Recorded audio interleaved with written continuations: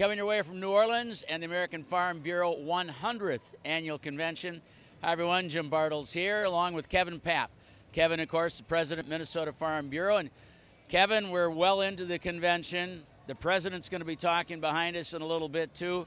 A little overview on the convention and, and what you've seen as the highlights and the strengths of this convention in New Orleans. Well, certainly the highlight is getting everybody together. We've got members from all 50 states and Puerto Rico here.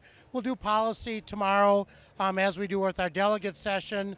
Um, but it's just celebrate our accomplishments. You know, 100 years is a big deal. There's a lot of places, a lot of organizations that don't make it 100 years.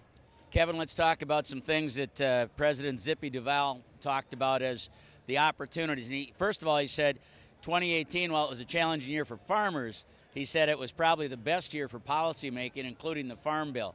So that's all good. But then he said, we've got some big things we need to hurdle yet. The first one was clean water, clean rules you know, it is, there's a lot of things to celebrate, but there's a lot of financial and emotional challenges out there. We appreciate the good things. We got a farm bill, we got to get it implemented yet. We got started on rewriting the waters of the U.S.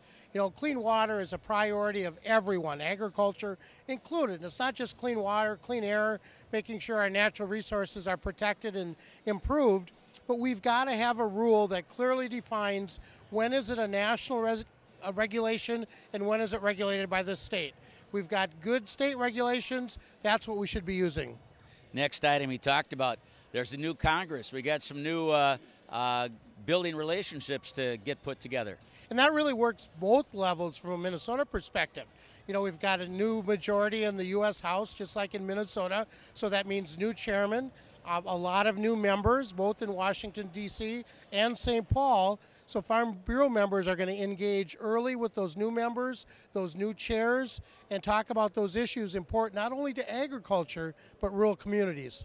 Kevin Paap is our guest. We're coming to you from the big arena. They say they got more chairs in here than they actually have uh, people who signed up. There's 6,000 people here, so this is a huge place. Next item that uh, President Duval talked about farm labor, immigration, those go hand in hand, but it's a very important issue for farmers.